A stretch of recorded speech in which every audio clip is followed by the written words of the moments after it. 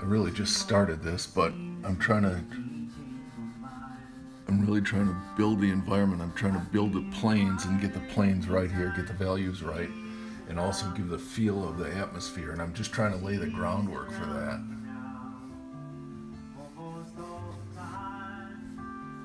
You know, I've got to work on this reflected and refracted water, and I want it to be, I want it to feel like it's coming toward me at the right angle. So anyway, that's what I'm working on just to start and i am going to be glazing some of this and then I'll be direct painting a lot of it.